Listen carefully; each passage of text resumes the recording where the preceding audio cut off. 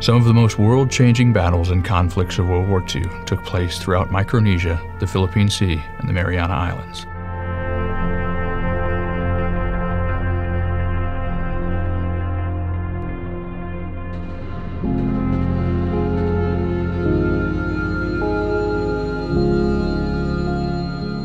On July 26, 1945, USS Indianapolis, an American naval ship, completed a secret mission the delivery of components for the atomic bomb.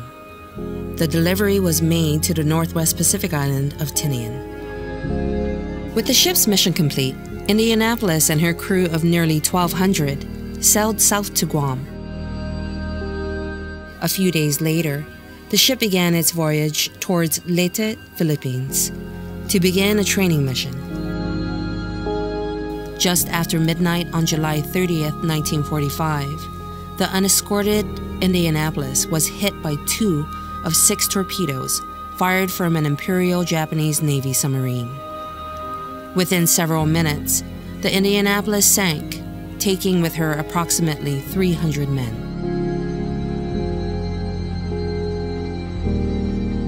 Of the nearly 800 sailors left stranded in the open waters of the Philippine Sea, little more than 300 would survive.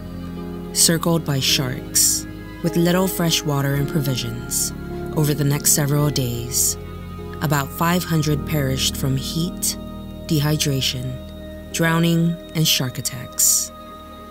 On the fourth day, a Navy plane spotted the remaining survivors and radioed for help a seaplane arrived at the location, dropping life rafts and supplies. When the Navy pilot saw sharks attacking the men, he violated orders and landed in the waters to save as many as possible. The survivors were transported to the Naval Hospital in Guam to begin their recovery. As a result of this tragedy and many factors that led to the delays in rescue, the Navy learned from this experience and made improvements in ships' tracking and reporting procedures, which are still used today. Join us as we walk through the history of a war that changed the world 75 years ago. In the coming months, we will honor and pay tribute to those who lived and suffered through the war and those who died.